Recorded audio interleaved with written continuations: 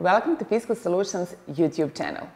Due to many unclarified facts and questions from our clients and subscribers, we are again talking about fiscalization in Germany. A few weeks ago, we talked about different kinds of POS systems in Germany and today we are going to give more detailed information about architecture for mobile POS systems. Again in our studio is my colleague Borislav Vukic. Welcome Borislav. Thank you Dragana. Borislav, what makes mobile POS systems specific regarding to regular ones? Mobile systems are the future of the retail business. The great interest for it has arisen due to the fact that it provides a lot of flexibility and low installation costs.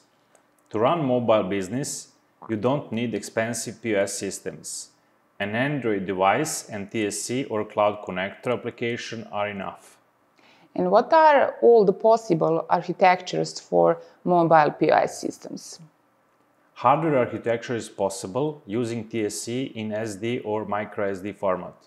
Another option is a cloud solution by installing a cloud connector on an Android device.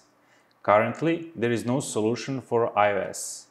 I will also add that it's possible to mix those two architectures, to have one cash register with TSE in form of card and another cash register that is doing fiscalization in the cloud in the same store.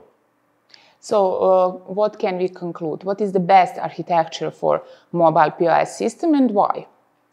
If there is no internet connection, then the only solution for TSE fiscalization is in SD format.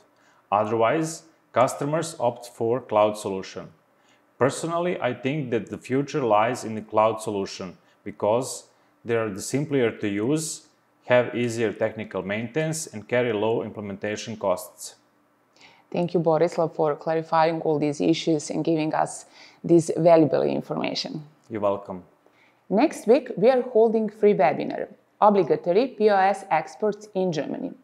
Use this opportunity to find out about the main pillars of fiscalization in Germany. All necessary information you can find on our webpage as well as a registration form for attending this webinar. If you like this video, please like, share and subscribe and see you soon. Bye.